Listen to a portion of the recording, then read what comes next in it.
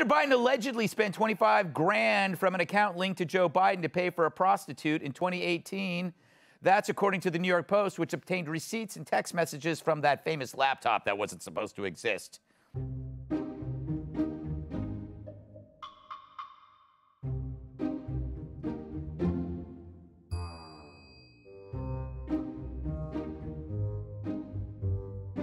Hunter Biden allegedly spent 25 grand from an account linked to Joe Biden to pay for a prostitute in 2018. That's according to the New York Post, which obtained receipts and text messages from that famous laptop that wasn't supposed to exist.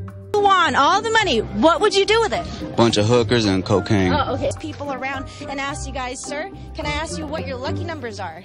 Uh, I'm gonna pick 14, 24, 2, 7, and 15. Oh, those are your lucky numbers. Can I tell you what? Do you know your chances of winning?